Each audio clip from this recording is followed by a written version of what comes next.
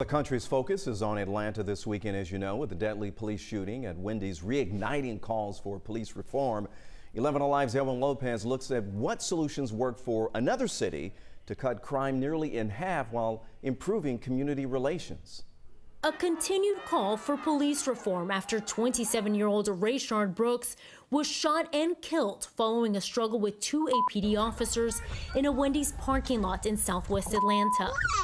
In a press conference Saturday, Atlanta Mayor Keisha Lance Bottoms announced the city police chief's resignation, as well as a new look into the city's use of force. We have already convened an advisory committee to examine our use of force policies in our city and expect feedback within the next two weeks with final recommendations within the next 45 days. Searching for solutions amid calls to defund the police and reallocate police funding. Others also suggesting a different approach community oriented policing, something that is already being done in Camden, New Jersey for the past seven years. Since 2013, the department says it has seen a 40% drop in violent crime, saying it is working for them.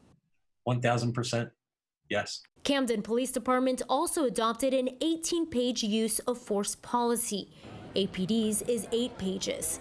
Camden's policy puts de escalation first. Only under certain circumstances can deadly force be used, and just as a last resort. According to Bloomberg, the changes came to Camden when the department wanted to put more officers on patrol but couldn't afford to hire more because of union contracts.